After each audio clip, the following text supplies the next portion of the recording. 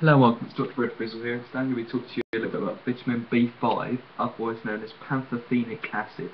I, okay, so what is, what, so what, what actually is the function of vitamin B5?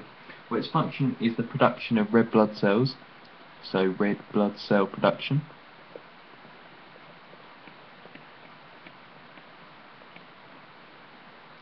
It's also used in sex cell production.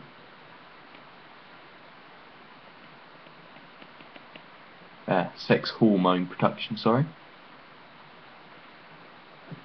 And, uh, and, and that's primarily the main functions of this particular thing.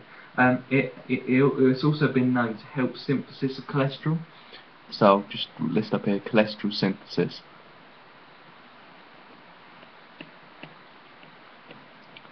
As we know, as we know with biology though, like, like when, when something actually, when something influences something, um, it, it, it can also have a particular, it can also be manipulated in order to have a reversal of that, of that actually, actual manipulation of how it actually adjusts something. So, so, so although this is involved in cholesterol synthesis, there's been some research by scientists like about whether whether whether it can actually be used to actually lower cholesterol as well as actually synthesizing it, which is making it.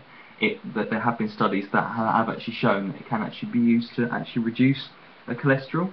I'm not really going to go into that too much now. Um, the, the, one thing I would like to mention about this is the, is the actual price of it. The actual price of these supplements. They're actually £7.95 for 100 tablets. Now you're probably thinking that, that that's quite good value, but actually if you have too many of these types of supplements, you, you can actually you can actually look like get get get signs such as diarrhea, um, so, which isn't particularly nice, obviously. So excess, you can get diarrhea. And and, and, and, and like as always with a lot of these vitamin B um, with a lot of these types of vitamin B there's a lot more actual deficiency symptoms than there are of, of overconsumption symptoms. So, so I'll start listing some of these some of these like, deficiency symptoms for you.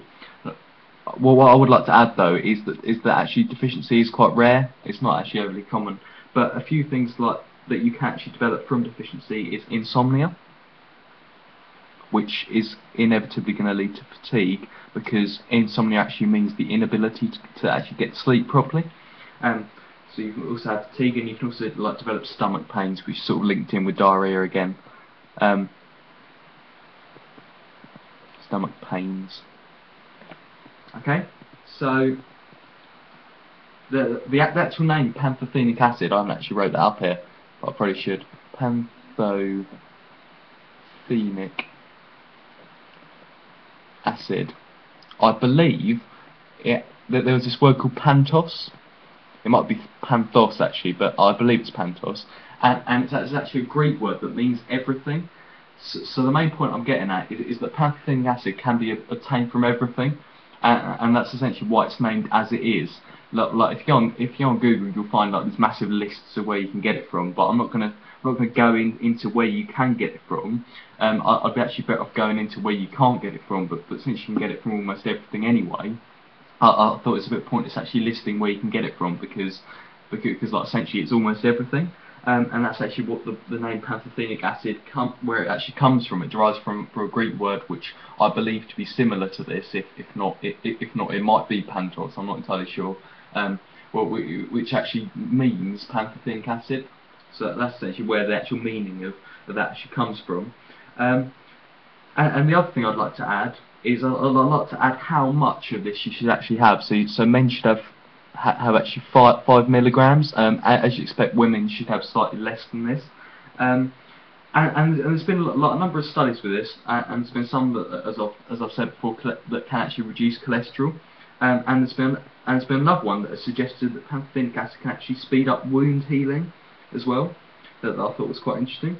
Um, and there's not actually there's not actually actually too many things that that pantothenic acid in excess can cause. I've got I've got this diarrhea lot from one website has mentioned that it can lead to diarrhea, but there's a number of different websites that have said there's not really any major disadvantage of having too much.